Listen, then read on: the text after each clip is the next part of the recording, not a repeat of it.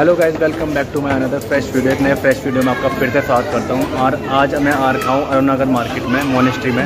और आज मैं ट्राई करने वाला हूँ लाफिंग लाफिंग है क्या और कैसे बनता है, वो सब जानेंगे।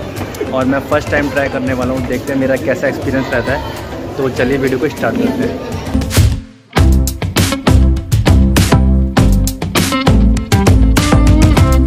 तो यार, यहाँ पे प्रिपरेशन चल रही है। और ये लाफिंग निकाला। ये किस चीज़ का बनता है भाई? मैदे का बनता मैदे का। तो ये मैदे का बनता है। तो ये खरीद के लाते हो या खुद बनाते हो? खुद बनाते हो। और ये ऊपर से नमक डाला आपने? और ये? मसाला कौन सा है ये वाइट वाला? मसाला।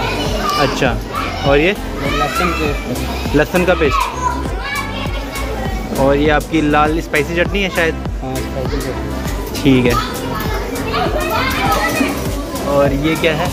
सोया। सोया। तो स्मैश कर रखा है इसको सोया को। ठीक है तो यार मैं अभी ड्राई लाफिंग खा रहा हूँ।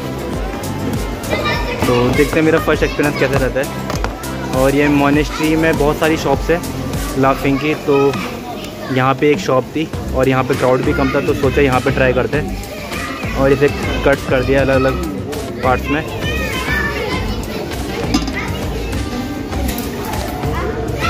तो ये है लाफिंग हाँ प्रिपरेशन कुछ ज़्यादा ही भी हार्ड नहीं है और ये मैदे का खुद ही प्रिपेयर करते हैं घर पे और सर्कल सा बनाते हैं। तो अभी मैं इसका फ़र्स्ट बाइट खाता हूँ और देखता हूँ कैसा होता है खाने में।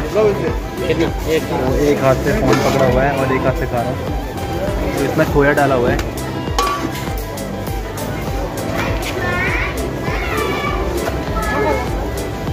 टुकड़ा कर दिया।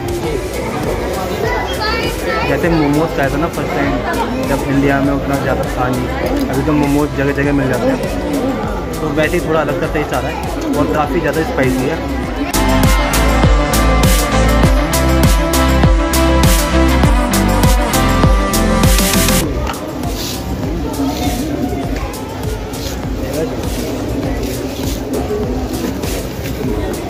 ये ड्राई कौन सा?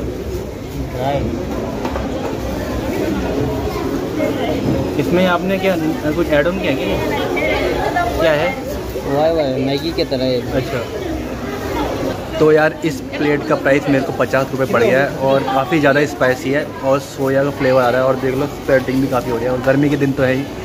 और पचास रुपये में मतलब कि सही है और स्पाइसी इतना ज़्यादा है फ़र्स्ट टाइम एक्सपीरियंस था। तो यार ये ग्रेवी वाला बना रहे हैं इसमें पानी सोया सॉस और विनेगर डाला हुआ है। तो मैं यही पूछ रहा था भाई से ये तीन हैं क्या लिक्विड तो ये ग्रेवी वाला लाफिंग तैयार करने के लिए डाला हुआ है।